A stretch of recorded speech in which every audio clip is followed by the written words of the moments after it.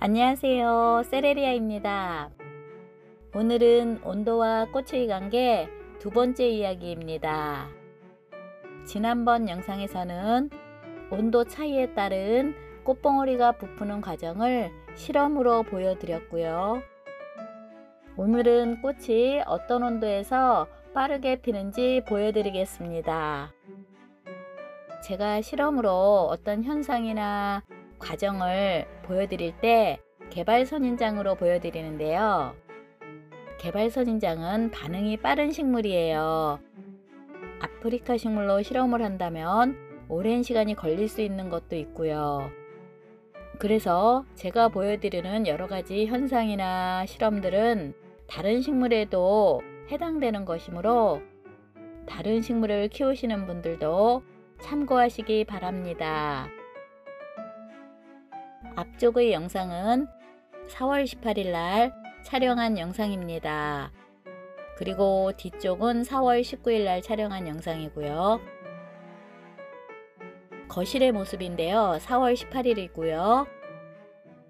오전 7시입니다. 거실은 베란다보다 온도가 높다 보니까 오전 7시인데도 이렇게 꽃봉오리를 열고 있어요.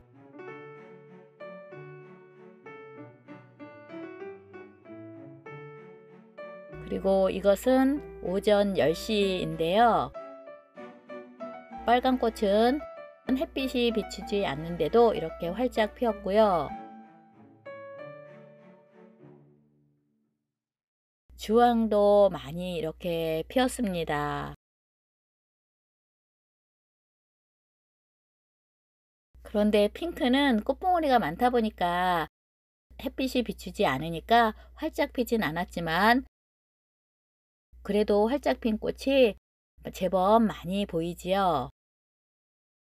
이렇게 온도가 일정한 거실에 놓여 있었던 개발은 이른 시간에 꽃잎을 열기 시작하고요. 이것은 다음날 실험한 거예요. 다음날이면 이미 전날 꽃봉오리를 한번 열었기 때문에 꽃봉오리를 여는데 에너지가 더 조금 필요합니다. 정확한 실험을 하기 위해서는 같은 날 동시에 놓고 실험을 해야 하는 건데요. 그럼에도 불구하고 오전 7시에 베란다에 놓인 개발선 인장은 아직 꽃잎을 전혀 열 생각을 하지 않고 있어요. 그리고 이 영상은 오전 10시인데요. 오전 7시보다는 꽃봉오리가 약간 벌어졌지요. 그런데도 새 합은 모두 꽃을 피우지 않고 있습니다. 왜냐하면 베란다는 온도가 낮기 때문에 온도가 올라가는 시간이 조금 더 늦춰지기 때문에 꽃도 늦게 피기 시작하는 거예요. 한번 피었던 꽃이기 때문에 더 쉽게 꽃을 피워야 되는데도 불구하고 오히려 더 안 피고 있지요. 거실은 햇빛이 전혀 비치지 않아서 제가 그 이후에 오후 촬영은 하지 않았어요. 이것은 베란다의 오후 2시 모습인데요. 이 빨간 꽃의 경우 거실의 오전 10시 모습과 거의 흡사하죠. 이렇게 꽃을 피우고 있는데요. 보시면 꽃이 굉장히 가득 피어 있죠. 하나 가득이에요.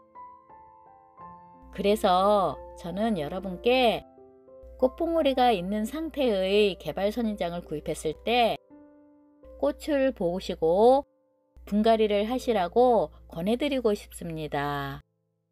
물론 꽃봉오리가 있을 때 분갈이를 해도 꽃을 가득 피우긴 하지만요. 이렇게 분갈이를 안 했을 때보다는 조금 덜 피워요. 때에 따라서는 훨씬 조금 필 수도 있고요. 지난번에도 말씀드렸지만 개발 선인장은 꽃을 보기 위해서 키우는 식물이므로 꽃을 가득 보고 나서요. 그 다음에 바로 분갈이 하지 마시고 입장을 완전히 회복시킨 다음에 분갈이를 하는 것이 좋습니다. 그러면 분갈이 시기가 늦어졌으니까 꽃봉오리 때 분갈이한 화분보다는 아무래도 회복 시간은 늦겠지요. 그 대신 화려하고 예쁜 꽃을 이렇게 가득 볼 수 있는 거예요. 구독자분들께서 분갈이 영상을 굉장히 궁금해 하세요. 물론 지난 영상도 있지만 새로 올라오는 영상을 위주로 보시는 분도 계시거든요. 그런데 저는 앞으로 웬만하면 꽃을 보고 나서 분갈이를 하는 것을 보여드리려고 합니다. 제가 가재발 선인장 분갈이한 영상이 하나 있어요. 그래서 내일 분갈이 영상을 하나 올려드리겠습니다. 이렇게 시든 꽃은 바로바로 바로 솎아서 제거를 해주면 입장의 회복에 도움이 됩니다. 잎을 하나 같이 더 제거하셔도 되고요. 꽃을 피우는 데는 온화한 온도가 도움이 되고요. 꽃은 관광에서 필 때는 화색이 연해집니다. 그리고 햇빛이 강하게 비추는 곳에 놓아두면 한 송이의 꽃이 피는 기간이 짧아집니다. 그 대신 더 꽃을 활짝 피고요. 그래서 개발꽃을 오랫동안 보고 싶다면 햇빛이 은은하게 비추는 곳에 놓아두는 것이 좋습니다. 물론 다른 식물의 경우 관광이어야 꽃을 꼭 피우는 식물도 있으니까 그것은 식물마다 조금 다를 수 있어요. 그렇지만 대부분의 식물에서 나타나는 현상이고요. 물론 더 추운 곳에 놓으면 꽃이 더 오래 가는데요. 그 대신 선인장이 아주 힘겹게 꽃을 피면서 에너지를 많이 써서 입장이 얇아져요. 그래서 너무 추운 곳에 놓는 것은 좋지 않습니다. 이 분홍꽃은 꽃이 너무 많이 가득 피어서 꽃의 화경도 좀 작은데요. 제가 보기에는 꼭 그래서 그런 것 같지는 않고요. 이 핑크는 품성 자체가 꽃을 좀 작게 피는 품성인 것 같기도 해요.